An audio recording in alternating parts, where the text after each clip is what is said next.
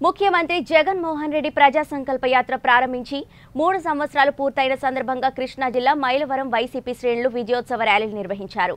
ఇందులో భాగంగా ఇబ్రహీంపట్నం మండల వైసీపీ నాయకుడు పాలడుగుల దుర్గాప్రసాద్ మాట్లాడుతూ ఆనాడు సీఎం జగన్ పాదయాత్రలో ప్రజా సమస్యలను తెలుసుకుని అధికారంలోకి వచ్చిన తర్వాత వాటినన్నిటిని నెరవేర్చారని అన్నారు. ఈ నైన్టీన్ న్యూస్ ద్వారా మేము ప్రజా ప్రజా మా మైలవరం కాన్స్టిట్యూన్సీ ప్రజానికాన్ని తెలియజేసేది ఏంటంటే ఈరోజు ప్రజా సంకల్ప యాత్రలు అర్హులైన ఎవరైనా పథకాలు రా- పథక సంక్షేమ పథకాలు అందని వాళ్ళు ఎవరన్నా ఉంటే కనుక మీరు వారు మా దగ్గర డైరెక్ట్ రాలేకపోయినా సరే మీరు వాళ్ళని మా దగ్గర తీసుకొచ్చి వాళ్ళకి పథకాలు అంది వాళ్ళు సంతోషంగా ఉండేలాగా చూడాలని మీ పత్రికాముఖంగా తెలియజేస్తున్నాము. మీ ద్వారా ఇంకొకటి తెలియజేస్తున్నాము దేవినేని ఉమామేశ్వరరావు గారు. ఇకనైనా ఈ ఈ మీకు కూడా ఏమైనా ప్రాబ్లమ్స్ ఉంటే కనుక వచ్చి మా ఎమ్మెల్యే గారిని డైరెక్ట్గా కలిసి మీకు ఏమన్నా ఉంటే చెప్పండి. లేదా మీ పత్రికా ముఖంగా ముఖంగా తెలియజేయమండి. కానీ ఓళ్ళమ్మడి తిరిగి అనవసరంగా బురదల్లి కార్యక్రమాలు చేసి ప్రజలను మాత్రం మభ్యపెట్టి ఇబ్బంది పెట్టద్దు. జగన్మోహన్ రెడ్డి గారు ప్రజా సంకల్ప యాత్ర రెండు వేల పదిహేడు నవంబర్ ఆరో తారీఖు మొదలుపెట్టారు. కానీ అందరూ కూడా ప్రజా సంకల్ప యాత్ర ఎలక్షన్ ముందే చేస్తారు. అలాగే జగ మొట్టమొదటిగా మన ఇండియాలోనే మొట్టమొదటి ప్రజా సంకల్ప యాత్ర మొదలుపెట్టి రాజశేఖర రెడ్డి గారు. పులిని చూసి పిల్లి వాతలు పెట్టుకున్నారు చంద్రబాబు నాయుడు గారు పెట్టుకున్నారు. గెలిచిన తర్వాత ఎవరిని పట్టించుకోలేదు అంతా లోకల్ నాయకత్వం మీద వదిలేశారు వాళ్ళు చేయాల్సిన అరాజకాలు మొత్తం చేశారు. అలాగే తండ్రిని మించిన తనయుడిగా జగన్మోహన్ రెడ్డి గారు కూడా రెండు వేల పదిహేడు నవంబర్ ఆరో తారీఖున ప్రజా సంకల్ప యాత్ర చేపట్టారు. గెలిచిన తర్వాత జ- గెలిపించిన కార్యకర్తల నాయకులను కానీ ప్రజానీకాన్ని కానీ గాలికొది వదిలేయకుండా మళ్ళీ మేము ఉన్నామనుకుంటూ నవంబర్ ఇప్పుడు మూడు సంవత్సరాలు గడిచింది. మళ్ళీ ఈరోజు ప్రజా సంకల్ప యాత్ర చేపట్టమని చెప్పేసి మా ఎమ్మెల్యే గారికి కానీ ప్రతి నియోజకవర్గ ఎమ్మెల్యే ఎమ్మెల్యేలకి మినిస్టర్లకి అందరూ కూడా ఆయన పార్టీ ఆదేశాలతో పార్టీ ఆఫీస్ ఆదేశాలు వచ్చినాయి. దాని ప్రకారం మా కృష్ణప్రసాద్ గారు కూడా ఈరోజు ఇక్కడ నుంచి ప్రజా సంకల్ప యాత్ర చేపట్టారు. మా కాన్స్టిట్యున్సీ స్టార్టింగ్ వచ్చేసి దొనబండ నుంచి స్టార్ట్ అవుద్ది.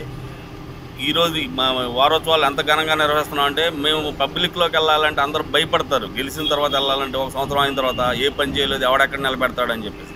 కానీ మేము అట్లా భయపడలేదు. ఎందుకంటే మేము ఎక్కడ అటువంటి అవతవకలు ఏం జరగలేదు కాబట్టి మా నాయకుడు కృష్ణప్రసాద్ గారు దమ్మున్న నాయకుడు కాబట్టి ప్రజల్లోకి వెళ్తున్నాడు. అట్లాగే ఈరోజు దేవినేని ఉమామేశ్వరం ఉన్నాడు. వెళ్ళి ఓడిపోయిన తర్వాత కూడా ప్రజల్లోకి వెళ్ళి వాళ్ళ అపోజిషన్లో ఉండి కూడా కనీసం అతను సానుభూతి సానుభూతి లేదు. వెళ్ళి అధికారులు నిలదీసే పరిస్థితి కూడా లేదు. ఎందుకంటే అతను అడిగే అర్హత కూడా లేదు అతనికి. అలా అడిగించుకునే అంత కూడా మేము దిగజారలే. ఎందుకంటే మా కాన్స్టిట్యున్సీలు ఎవరు కూడా ఈ పని అవ్వలేదని కానీ మాకు ఈ లబ్ధి రాలేదని కానీ ఈ మాకు ఈ పెన్షన్ రాలేదు కానీ ఏది లేదు. కానీ ఈరోజు దేవనేనో మామేశ్వరరావు పరిస్థితి ఎలా ఉందంటే కృష్ణప్రసాద్ గారు ఎదుగుదలను చూసి అతను ఓరవలేకపోతున్నాడు అది వారకూడదు ఉండకూడదు. ఇంకా ఉంటే మన మన ఉన్న ఒక పద్ధతి కుటుంబం నుంచి వచ్చిన వాళ్ళు అయితే కనుక పద్ధతిగా మనకు తెలిసిన సలహాలు ఇస్తుంటాం. అతనికి ఆ ఉచిత ఇది కూడా లేదు. ఈ- రోజు ఏంటంటే వారోత్సవాలు ఘనంగా నిర్వహించాలనుకోండి ఎందుకంటే మాకు పబ్లిక్లో మేము చేసిన పని అనేది మా గుర్తింపు. ఈరోజు మేము ఏదైతే పని చేస్తున్నామో నా మండల స్థాయిలో కానీ కాన్ఫరెన్స్ స్థాయిలో కృష్ణప్రసాద్ కానీ కృష్ణప్రసాద్ గారు అండర్లో మేము పనిచేస్తున్నాం మాకు చాలా గర్వంగా ఉంది ఈరోజు ప్రతి ఒక్క గ్రామంలో ఆయన అమ్మడి తిరగడం కోసం. ఎందుకంటే ఒక విజన్ ఉన్న నాయకుడు ఇట్లా ఉంటాడని నిరూపించాడు.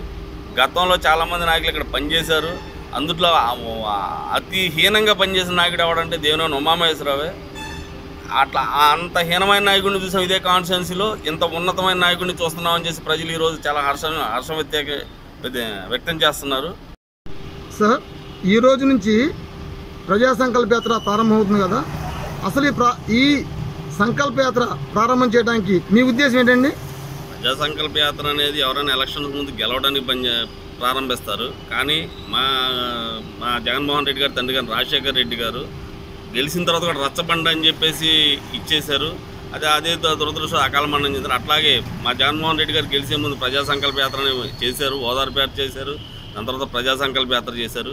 గెలిచిన తర్వాత కూడా ఆ రోజు నవరత్నాల్లో ఏదైతే ఉన్నాయో అది ఆ నవరత్నాలని చెప్పి పెట్టారు కానీ ఆయన నూట తొమ్మిది పథకాలు పెట్టి చేశారు. ఆయన ఎప్పుడు గుర్తు ఈ పథకం చేస్తే నలుగురు మేలు జరుగుతుందంటే ఆ పథకం ఇమీడియట్గా ఇంప్లిమెంట్ చేసి చేశారు. అలాగే ఈరోజు సంక్షేమ పథకాలు అనేది ప్రతి ఒక్కటి నైంటీ నైన్ పర్సెంట్ అవుతుంది. ఏదన్నా మాకు తెలియకుండా మా స్థానిక నాయకులకు కానీ మా ఎమ్మెల్యే గారి దృష్టిలో కానీ ఏదన్నా ఒకటి రెండు చిన్న చేతగా ఎవరైనా లబ్ధిదారులు లేకపోతే కనుక వాళ్ళు కూడా ఉండకూడదు. ఏదైనా ఎమ్మెల్యే గారి కనుసరణలో ఉండాలి. ప్రతి ఒక్కటి ప్రతి ఒక్క లబ్ధిదారుడికి అందాలి అన్న ఒకే ఒక్క ఉద్దేశంతోనే ఈ ప్రజా సంకల్ప యాత్ర చేసి మొదలుపెట్టడం జరిగింది. ఈ సంకల్ప యాత్ర ఎంతకాలం జరపాలనుకుంటున్నారు? ఆ సంకల్ప యాత్రలో ప్రజలకు ఏమేం చేయాలనుకున్నారు ఏమేం చేయాలంటే ప్రత్యేకంగా ఏం లేదండి. అర్హులు ఎవరైతే ఉన్నారో ఈ ప్రతి ఒక్కటి నవరత్న పథకాలు అందని వాళ్ళు ఎవరైనా నవరత్న పథకాలు మాకు తెలిసి ప్రతి ఒక్కటి అందిని. ఏదైనా చిన్న చెత్తగా ఏది కొండ ప్రాంతంలో ఉండేవాళ్ళు కానీ రూరల్ ఎక్కడ ఉండేవాళ్ళు కానీ మాకు పార్టీ పార్టీ కార్యాలయ ఆదేశాలు ఏంటంటే ప్రజాసం ఆరు రోజులు మాత్రం చేయమని అన్నారు. మా ఎమ్మెల్యే గారు పట్టుదలతో ఆరు రోజులు కాదు అరవై రోజులైనా సరే ప్రతి ఒక్క గ్రామం తిరగాల్సిందే. ప్రతి ఒక్కరిని ఎస్సీ ఎస్టీ బీసీ మైనార్టీ అంటే ప్రతి ఒక్క రోడ్డు వెళ్ళి ప్రతి ఒక్క ఇంటిని మనం చూడాల్సిందే. ఆ రోజు మనం ఎలక్షన్ ముందు ఏదైతే మాట ఇచ్చామో ప్రతి ఒక్కటి మనం చేయాల్సిందే. అన్న దృఢ నిశ్చయంతో ఈరోజు మా అందరికీ ఆదేశాలు జారీ చేశారు. ప్రతి ఒక్క గ్రామ నాయకులకు కానీ మండల స్థాయి నాయకులకి అందరికీ చెప్పారు. మనం అందరం ఈ ఆరు రోజులు పార్టీ ఆదేశాలు అనే ఆ రోజుతో మనం ముగించద్దు. మనం ఎన్ని రోజులైతే మనం ఐదు మండలాలు కూడా ప్రతి ఒక్క గ్రామం తిరుగుతాము అనర్హుడు అని కూడా ఎవడం ఉండడానికి వీల్లేదు అన్న ప్రతి ఒక్కళ్ళు అర్హులు అన్నోళ్ళు ప్రతి ఒక్కళ్ళకి పథకాలు అందాల్సిందే.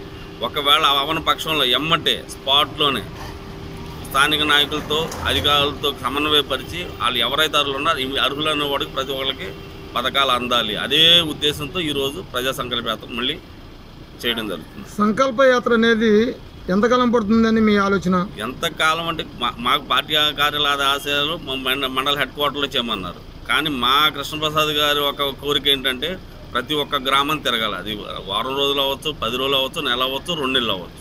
కానీ మాకు ఐదు మండలాల్లో ప్రతి ఒక్క గ్రామం తిరగాలి. ఆ రోజు డోర్ టు డోర్ ఎలా అయితే మన కృష్ణప్రసాద్ గారు ఎమ్మెల్యే గారు చేశారో ఈరోజు డోర్ టు డోర్ ప్రతి గ్రామం ప్రతి వీధి తిరగాలి. వైసీపీ ద్వారా ప్రజలందరికీ నూటికి నూరు శాతం సంక్షేమ పథకాలు ఈ సంకల్ప యాత్ర ద్వారా అందుతాయని అనుకోవచ్చా? Hundred percent. మా ఉద్ద ముఖ్య ఉద్దేశమే అది.